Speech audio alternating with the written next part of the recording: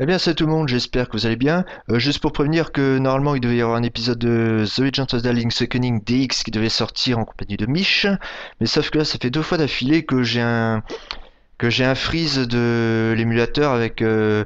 même pas si c'est l'émulateur ou... ou OBS qui freeze. Enfin, il semblerait que ce soit OBS. Un problème de pilote d'affichage. Résultat, deux fois d'affilée que ça a planté.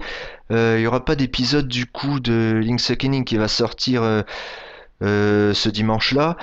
Par contre, du coup, je vais peut-être euh, poster la suite de mon Swordless Challenge sur euh, Parallel Worlds. J'avais le, reste avec le premier donjon à mettre et je vais en profiter peut-être pour poursuivre un petit peu.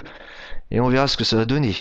Allez, ben, navré pour, euh, navré pour l'absence d'épisode de, Link's Awakening DX, mais là, euh, deux fois que ça capture, je préfère euh, attendre que ça aille mieux. Peut-être que la semaine prochaine ça ira mieux, j'espère. hein.